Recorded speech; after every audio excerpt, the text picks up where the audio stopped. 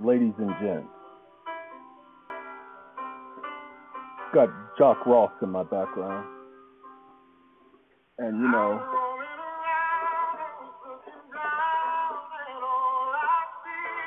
he's talking about loving somebody. Now, I don't know if you've ever heard of who Jock, J O C, Ross, R O S S, is, but YouTube this young man. I think you'll appreciate him. Not only can he play music, but he can sing music. Ladies and gentlemen, you see this in the background?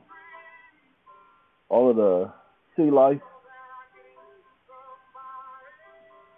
Yeah, that's how I feel today. Like just being in the middle of the ocean, relaxing. Why is that? Because in 2001, I was made aware that as the years got to this point, that I would start to lose cognitive abilities. That's why I scheduled the appointment yesterday. I, have already known this is the second doctor I've seen, and they both determined the same thing. Now, this is just by asking questions. And what I decided to do, because, you know, you can fake it, I decided to be honest with them. I decided to try to explain to them what I go through on a daily basis since the operation in 1988. As I said, I've even been getting that date wrong. I've been telling people 1989 um, when it is 1988. My best friend died in 1989. I was thinking it was 19, pay attention, 90 when it was 1989 that he passed away. Um, just before my, well, right after my so-called 21st birthday. Oh no, uh, 87 was 18 and 89 was 20. So again, yeah, just before my 21st birthday is when that young man passed away. And in 1990, my son was born. That's the only date I got right is the uh, the my son being born the following year. But what's been happening is I've been allowing myself. I'm doing way too much, and some people realize that they see all the things, all these organizations that I'm trying to help keep organized and keep afloat, and the consults and the dealing with lawsuits and dealing with people and man, seven days a week. Well, that's putting too much of a strain. The only problem is I tried to curtail it. If you've ever listened, I've tried to curtail it and I can't. So I decided not to fight it anymore. The understanding was is that I'm going to lose the ability to communicate. There was the diagnosis about five years ago of aphasia. Imagine that. I am so glad that it's slowly progressing. We already had the retrograde amnesia, so that's in and of itself something in and of itself. And the doctor did confirm that it's not dementia. Oh, I am so glad I don't have dementia. Oh, Dr. Demento would be so proud of me if I did, though. Um, if you've seen the Weird, uh, Weird Al Yankovic story, you would come to understand who Dr. Demento is. And if you existed in the 70s, late 70s, early 80s, the Dr. Demento Show, you would understand who Dr. Demento is. I actually liked him. Um, back to the hotel. I've been trying to get the staff. I, I when you tell people you have cognitive issues, the first thing people want to do is test you. So at one of our meetings, I made mention of something. I wasn't accusing anybody of anything. I just made mention of a situation. And the person spoke up and tried to defend themselves. And, and I said, excuse me. First, it ain't your turn. Second, nobody's talking about you. You know, Lord have mercy. Then the person commented again several moments later, talking about how they did something and they are sure they did it. So the problem was mine. So, ladies and gentlemen, I went back later, checked the emails, and sure enough, they did something, but they did exactly what I said they did and not what they were claiming they did. I might have some cognitive issues, but I'm still the smartest person I know. Now, hold on. There is, and I'm gonna know if you if you're paying attention, I'm sharing something with you of a personal nature. So if you want to hear it, then you're gonna hear everything. If you don't want to hear it, then you can turn the video off, literally. But I'm gonna share something with you because I need people to. Wait, hold on. Where's my desktop? Ladies and gentlemen, it ain't letting me have my desktop. I gotta give it a second. I I think the the the fish that ate my desktop, y'all. Yep, I ain't got no control over my desktop. Hold on, let me get my desktop back. There it is. Ooh, there go my desktop, man. That's what I was looking for. I need the desktop. Okay. I'm gonna go into this right here, and it's moving a little slow. Oh, because I'm maxed out on both RAM and CPU. Got to refresh that stuff. Oh, it's so refreshing and it'll be just one second. Oh, look at that. I've done release memory. Oh, that thing. Isn't that what you're talking about, memory, right now? Hold on. By the way, uh, there was another artist besides Mr. Jock Ross that I saw, and I wanted to play him, and I'm looking for him. I may have missed him. Uh-oh, I think I missed him. Jock, where'd he go? I think I may have to go back to the previous screen. Nope, I done lost him, y'all. There's a the sheer element. I was listening to them earlier. They, I, you know, I'm, not too too too too too too too impressed. But there was another young man, and I it and I wanted to take a listen to see who he was and what he did, you know, and I done messed up. I think I done lost him. All right, I'm just gonna have to go on, y'all, because he was on a different screen. So Lord has mercy. I won't be able to play him this day because I don't know where he be. I know I played Jock Ross, and he did a change is gonna come because he was born by the river. You know what, ladies and gentlemen, this is taboo because according to the ignorant people, I can't play this. But I'm gonna play this because I'm gonna tell it to you like it is. This is one of the best versions, and I didn't even mention this fool, but this is one of the best versions of this song that I done heard. And we all know this man can sing, but it is taboo. I wasn't supposed to be opening this.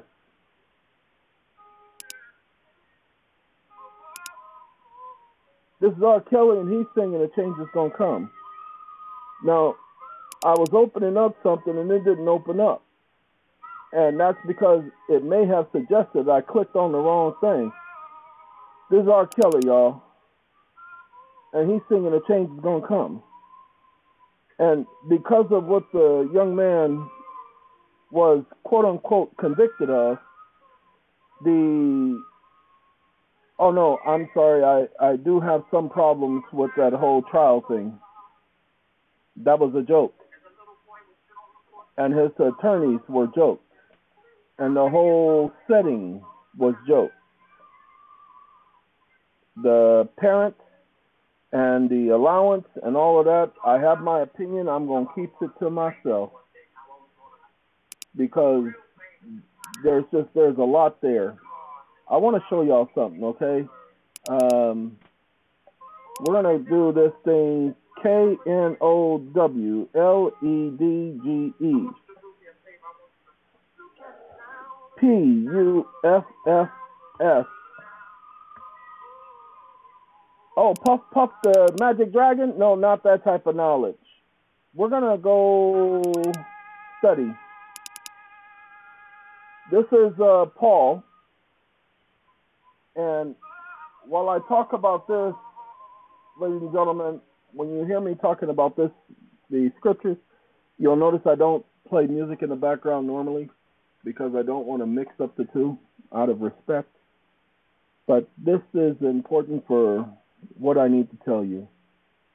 Now, concerning food offered to idols, we do not have all the knowledge. We do not all have knowledge. Knowledge puffs up, but love builds up. If anyone thinks he is something, he does not yet know it as he should know it. But if anyone does love God, this one is known by him. Ladies and gentlemen, it says if anyone thinks he knows something, please understand, I made the comment earlier that I am the smartest person I know. Okay? That's just, it's not uh, me imagining that. And it's not a matter of somebody challenging me. When I say I'm the smartest person I know, there is not a person that can come to me and challenge that. Because I said, I know. Well, I know people smarter than you, and nobody asked you. Do you understand that? Does that make sense? So we can go back to Corinthians. This is Paul. I'm going to read what Paul said at the beginning of the 12th chapter of Corinthians because there are some similarities.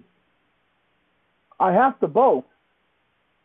It is not beneficial, but I will move on to supernatural visions and revelations of the Lord. I know a man in union with Christ who, 14 years ago, whether in the body or out of the body, I do not know, God knows, was caught away to the third heaven. Yes, I know such a man, whether in the body or apart from the body, I do not know, but God knows, who was caught away into paradise and heard words that cannot be spoken and that are not lawful for a man to say. Now, I want you all to understand. He heard words that cannot be spoken. Okay, that's a metaphor in so many ways, but that is not to be literal because it was spoken if he heard it spoken. He heard words, and then he says, cannot be spoken. I've always loved that. But he's saying cannot be spoken by man. He says, I will boast of such a man. See, he's saying what he was allowed to go through and what he was allowed to see, he, he'll boast about that man. But he says, I will not boast about myself, except for my weakness. For even if I want to boast, I will not be unreasonable, for I would say the truth. But I refrain from doing so in order that no one should give me more credit than what he sees in me or hears from me. Just because. No, 7 continues, but we're going to stop right there. Ladies and gentlemen, my knowledge doesn't come from me. When I tell you I know things that I've never that comes from the God that I serve. And I'm very proud to be serving the God that I serve. My service of my God is not the same as your service of your God. For we don't serve the same God. I don't care what you say, how you say it. My God is not your God. I know. That's difficult for people to grasp because everybody wants to think that what they have is theirs. And I am not taking that away from you. I'm saying you go and serve your God. But I love uh, Mr. Joshua, who said, But as for me and my household, okay, so as for me and my household, we're going to serve Jehovah. See, my God is called Jehovah. I call him by name because he asked me to call him by name. His word says everyone who calls on his name will be saved. So I call on his name. I've actually experienced that firsthand in so many different occasions where I've called on his name in dire situations where my life was on the line, including on that operating table. And all I heard was people talking about miracles afterwards, every single time. So, in 2001, there was a thing that took place known as a choosing. And when that took place, Lord have mercy if I couldn't tell you the amount of knowledge I gained in a three week period, to say the least. I had to literally ask him to stop because it was too much. I felt my brain was going to explode. Ladies and gentlemen, but with that knowledge, I mean, people were like, wait, how did you know that?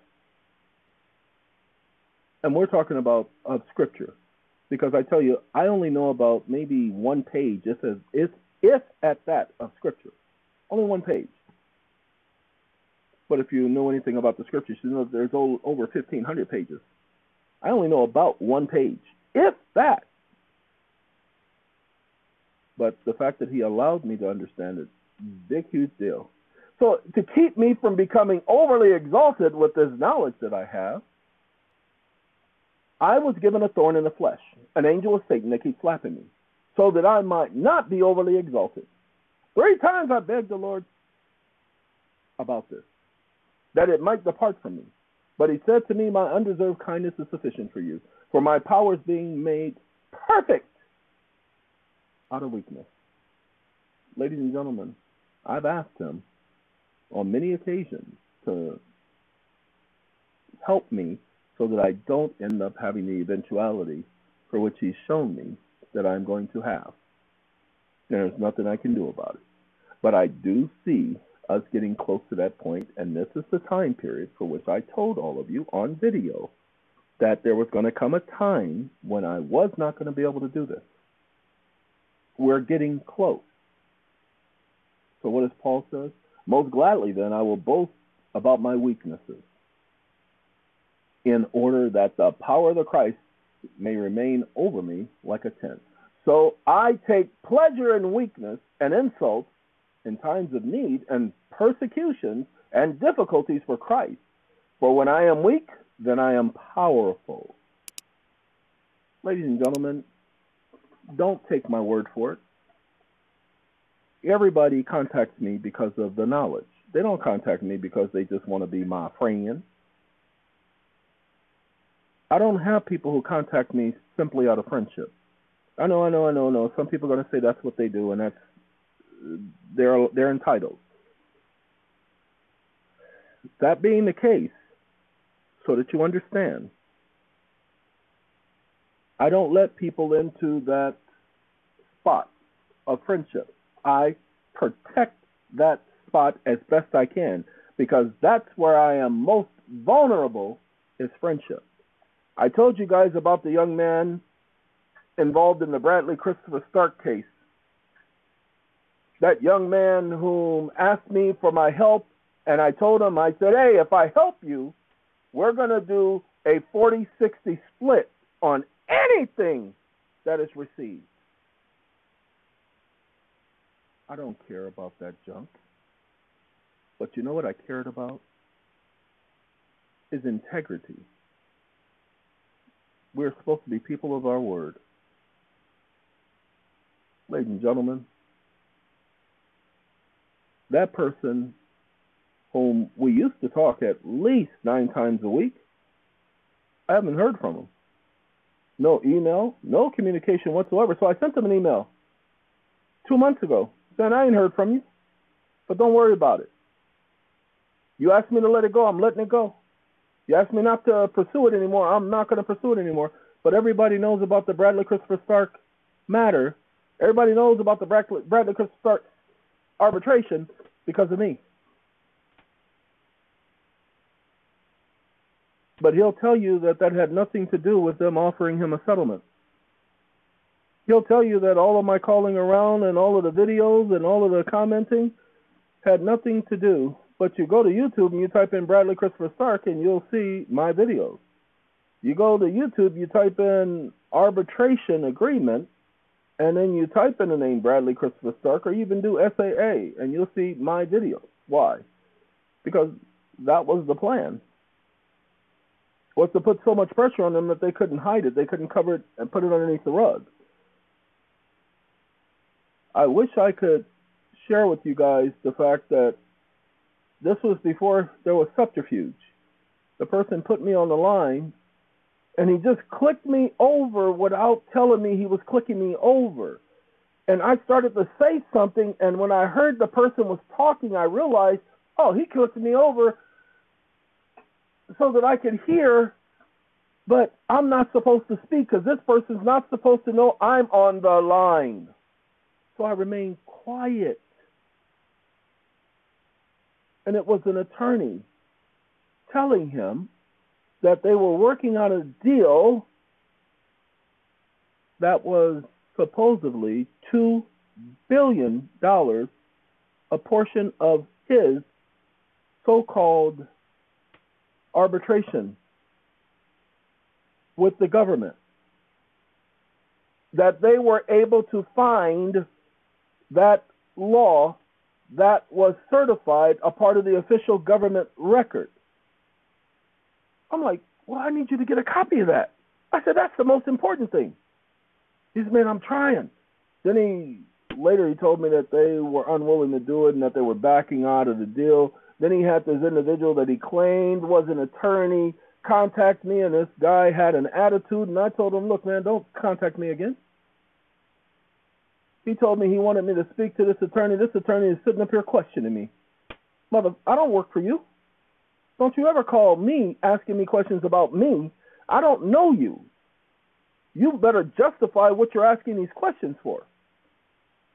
And so he says, No, you don't have to worry about it. No, we fired him. Only to understand that that was a friend of the family. They didn't fire nobody. So, so many lies. Well, you know what I don't think he did? If he did that to me, I wonder what he did to Bradley. I wonder what he did to Bradley. I don't think he is actually reaching out to help Bradley at all. I do believe that he did get a settlement. I honestly do. I will tell you guys that hands down. And this is what people continue to do. I've I'm going to say it because it's the truth. I've helped so many people earn so much money and here they are. They end up being a whole lot better than what they are. And you know, they never even contact me and say, hey, you know what? Because of you, I was able to do this and I was able to do that. And I got this much money. Or because of what you said, I was able to settle.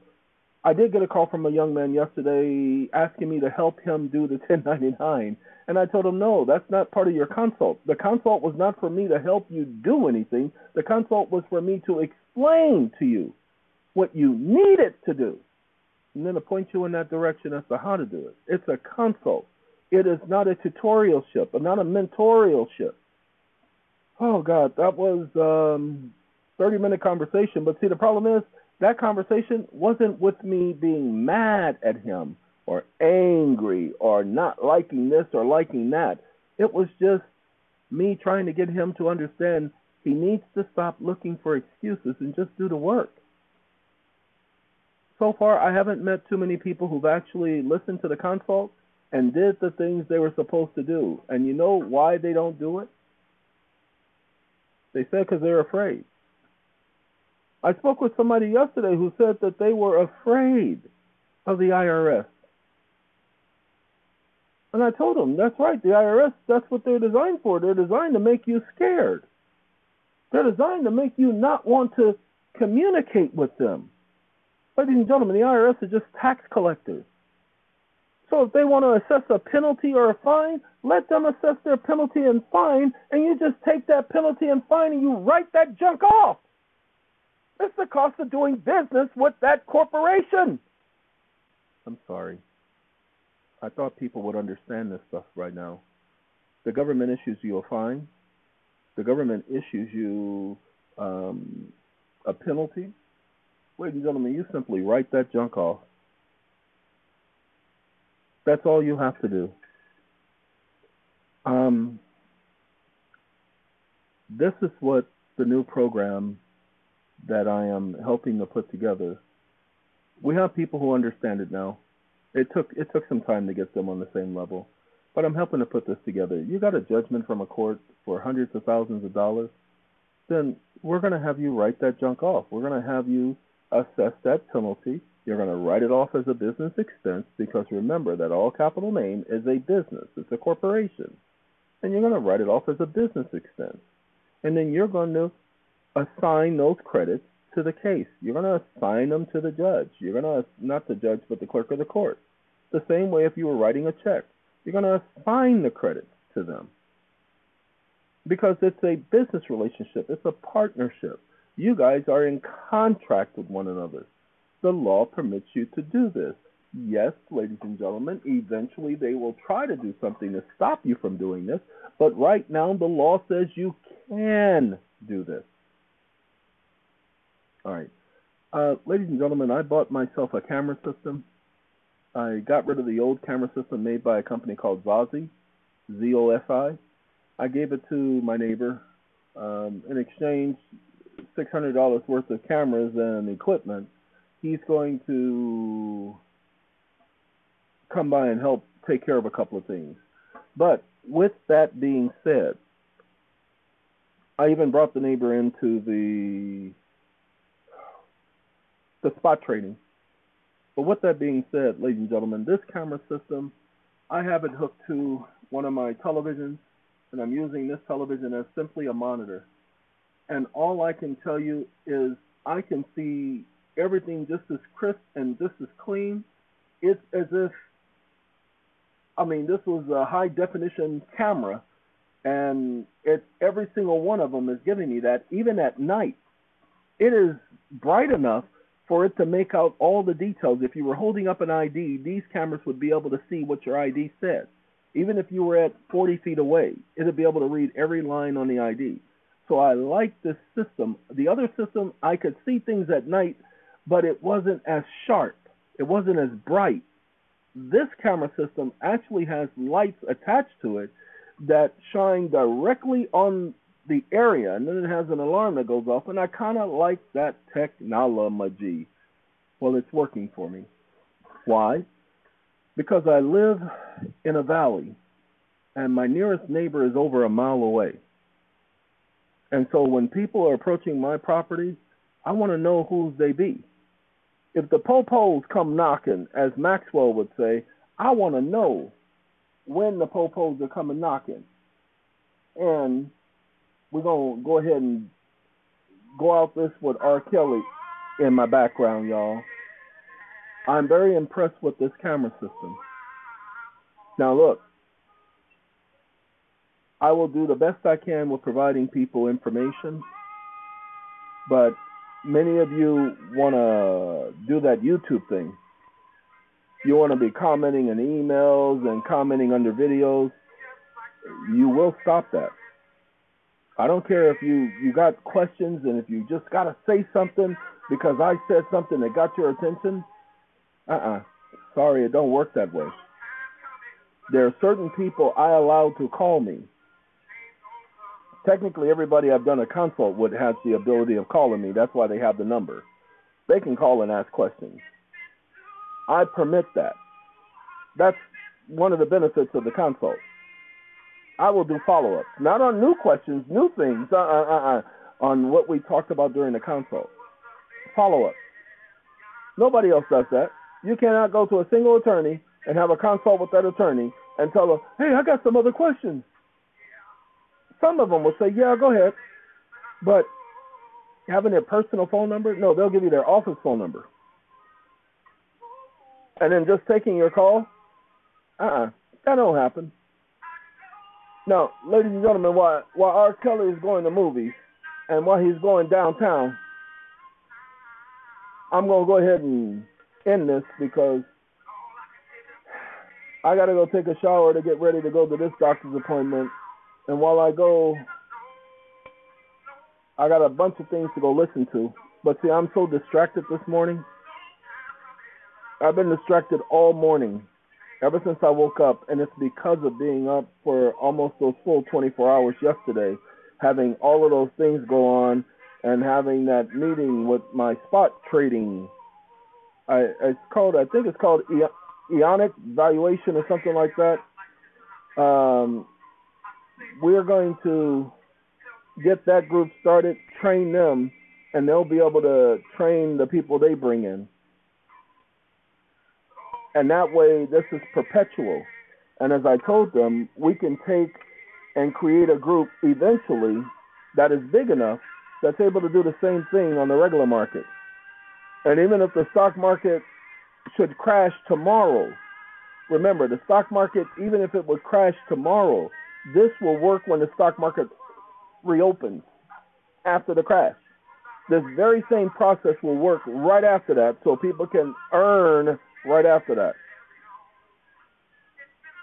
Like I said, I understand it. I get what they're doing. And not everybody's going to explain to people what they're doing in a situation like that, but I'm explaining to you guys exactly how they're able to do it. Thank you, R. Kelly. See, listen to him. And what's what what what, what what's what's gonna happen? Yeah, but what's gonna happen? Are you sure about that? See, R. Kelly, he says, say yeah. All right, gotta go, ladies and gentlemen. Have a good day. Have a good night. About to yawn, because I'm tired. See y'all later.